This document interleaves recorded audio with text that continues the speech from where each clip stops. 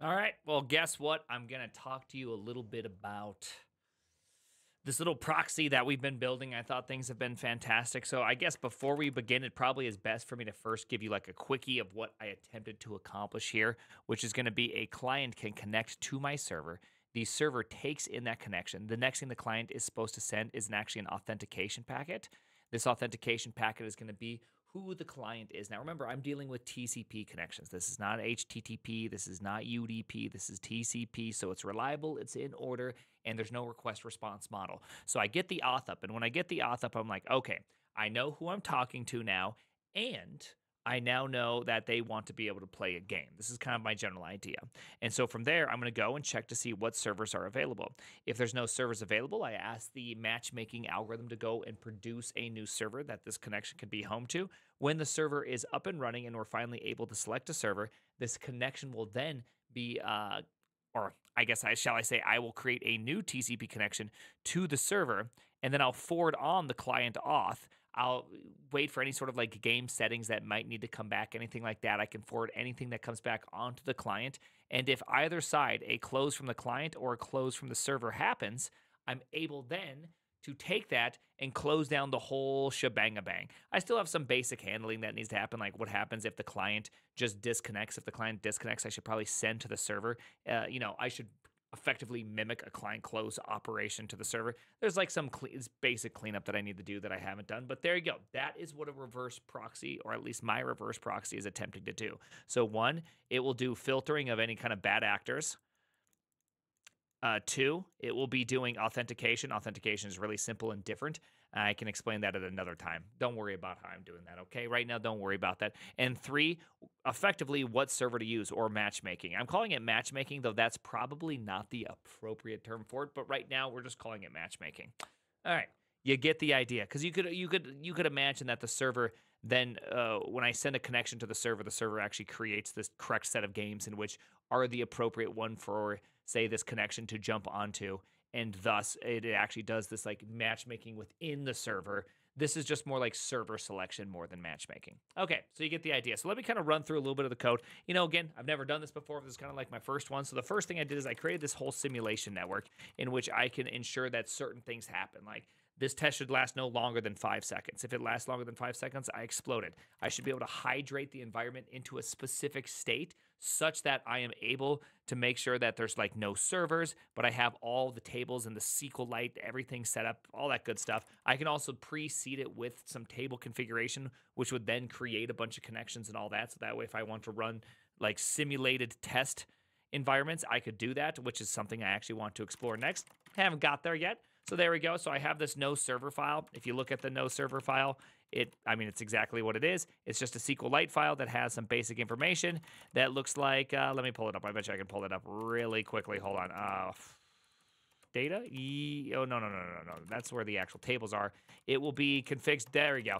It's literally, that's how I'm generating. I'm actually building the configs by hand, and then it generates the SQLite, in which then the environment generates the servers with all the active connections, and then hands me everything back in these tests.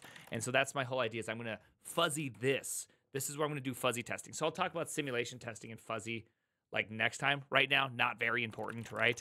And so with that, I have like a little factory that will create new clients and then connect them and make sure that they've been connected and connected to a game server before it returns. I think that's kind of nice.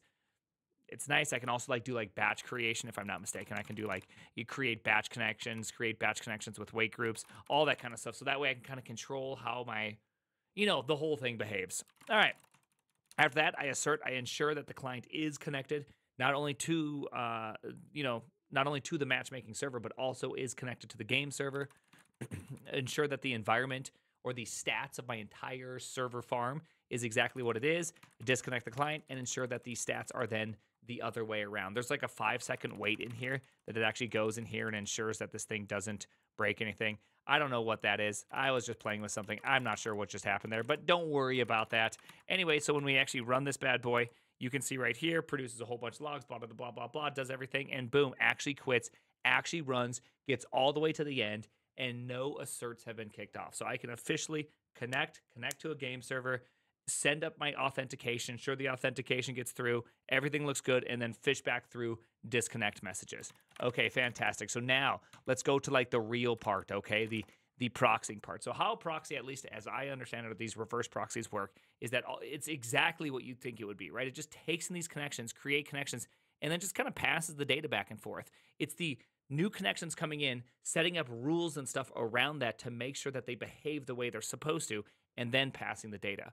And so that's kind of like the uh, various things you can do. So the first thing I do when I get a new connection is I actually go to check, are you allowed to connect? Right now, I don't have any rules. Every hey, you're all available to connect, right? Uh, after that, create some extra context wrappers and all that stuff, and then I go and handle the connection. Connection is pretty simple. I create two packet framers. These framers are going to read the incoming messages and turn them into my like hand rolled packet formula because remember we're doing TCP structured data, but that does not mean it's structured for you. You still have to structure it on the other side. All right, I have a little packet reader, which, oh man, this is just fantastic. I kind of alluded to that code earlier. And then what I do is I grab out the next packet. That first packet should come out and it should be um, what's called an auth packet. Obviously, as you can see here, I don't do any sort of error checking. We're not there yet, okay? This is kind of new. If there is no auth packet or it's not okay, then we remove the connection. Else, I then go and try to authenticate. Again, authentication. Nothing's happening, right? Okay, beautiful. So I make sure that it's authenticated. If there is an error, then I remove the connection again. Uh, then I go and matchmake. If I could not matchmake, remove the error again. If I go and uh, at that point, I create a new connection to the game server. If there's an error, remove the connection again. After that, create one more uh, game connection, create a new reader on the game connection uh, socket, and then ensure that I get a game server um, authentication back out, right? To make sure that I can actually go back to the client and say, hey, you've been authenticated, you're good to go. Go, run. And then I handle the life cycles. The life cycles is pretty fun too, right? It's I read every packet either coming from the game server or the client server. Right now, it's the exact same code. I did this intentionally. I didn't want to abstract this because I have a feeling like it's going to start deviating as time goes on, but right now it's not. Uh, so I I just take the packet. If it is a connection close or a closed connection, then I just write it across the wire and then remove all the connections. Else, I just pass the packet back through, and if there's an error, remove the connection. Right? Like so, it's it, pretty straightforward stuff, and I do it on both sides. So I am doing that proxying where I am the man in the middle. The cool part though is with my packet formula, it actually doesn't require a lot. I do stuff like this where I actually uh, don't have to do a lot of work. So as the bytes come in, the uh, second and third byte or the second and third index, so the third and fourth byte is going to be the length of the packet. So I actually just grab the length of the packet and then I then I don't read anything. I don't parse anything. So it's pretty cheap to do all this. When I say pretty cheap, I mean it's pretty cheap. But uh, okay, this is me programming. Don't don't worry about that. Anyway, so there you go. This is effectively what I'm doing. I'm pretty happy about this, and I have a little context done to make sure everything's done. So the moment we're done, it also does this nice little, hey, it's time to leave here. I should probably put like a break in here. Break, huh? Huh? Well, what's going on here? I should probably do some sort of breaking. I forgot to do that. Uh, forgot, right? Obviously, some things need to happen. You see what's ha- you see what's happening here some stuff needs to happen, right? return. There we go. How does that sound? Uh, so I'm still kind of going through, making sure everything's actually like quote unquote productionized because I actually want to launch this. I just have to. I have a really good idea for a simple game in NeoVim that can do all of this and work pretty pretty well. And so we're not like it's not far from being done. Can you believe that? It's actually going to work. It's actually going to be a a thing. It's actually gonna uh, it's actually gonna run. I don't I can't even believe it. Anywho, so there you go. That's it. I'm proxying. I'm not even sure if this is a good idea, honestly. I'm not sure if I don't like that other idea of having a matchmaking server versus a game server. The reason why I don't like the game server is that if it just directly connects to a game server, I have this sneaking suspicion that people will then be able to take that and attack that that game server and try to ruin other people's games. But then again, if I'm doing a reverse proxy here, they can attack that. And if I can't pass the packets back and forth, well, that thing is also ruined for everybody else too. So it's kind of these weird trade offs I'm playing around in my head and trying to figure out what can I do to make sure that that doesn't happen. I have some good ideas because I'm going to, you know, rate limit packets, ensure that certain behaviors are kind of met. The game servers themselves can also do some extra like understanding of the packets coming in. And if the person's just doing weird behavior, just close them down and kick them out. And if they, you know, if enough things happen, maybe you'll do some sort of like longer term you know, banning on certain IPs or whatever. You know, I still got to figure out all that stuff because I've never done it before. But I do. I made this tweet earlier, and I'm not okay. I also made this tweet. This is great. This is a great tweet. But I realize something is happening, which is whenever I start doing this, all of a sudden it's just like it's time for me to do the uh, the eBPF, right? It's just like time for me to do my own packet filtering at the lowest possible level and create the reverse proxy all the way down at the most performant possible level ever created. I can feel it happening. It's probably going to happen. But right now, I'm just trying to have a moment of fun without losing my marbles. Okay, I can feel the marbles wanting to be lost. I don't want to lose them. I don't want to lose them. I'm going to try to stay focused. So, because I know right away, the reason why I brought that up is I knew for a fact the moment I'm showing I'm doing like proxying and authentication and and launching and creating servers and doing all the actual like server management. And by the way, when I do it, when I say I create servers, I I do mean that. Uh, when you do matchmake, I have this idea of a just a server object that comes in, checks for the best server. If not, we create and wait for a server. It's pretty straightforward. And so the create and wait actually for locally, it actually just spawns a new process, and that new process creates a TCP server and then says, "Hey, I'm ready to rock." And so we kind of do this whole like creating and waiting. And when it says, "Hey, I'm ready to rock," it actually launches data into a, a SQLite database, and then this waiting process is actually just waiting for uh, what's it called? Just waiting for the server to put its data into SQLite. And once the data is in SQLite, it goes, all right, we're ready to rock. We got a server every. All right, boys, let's pile in.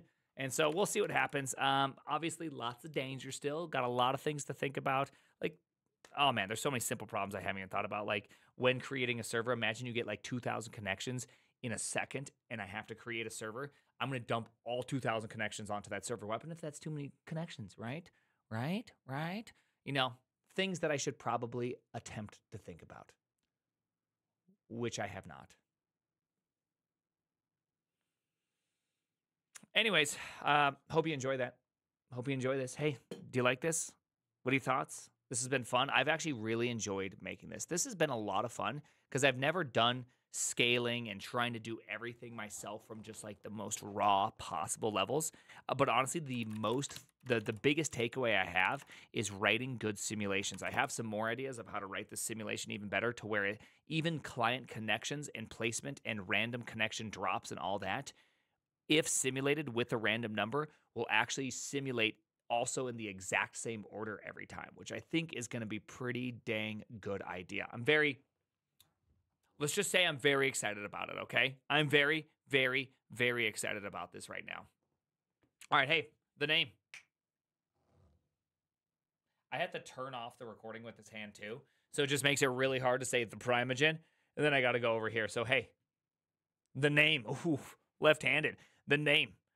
Yes, my image is mirrored again.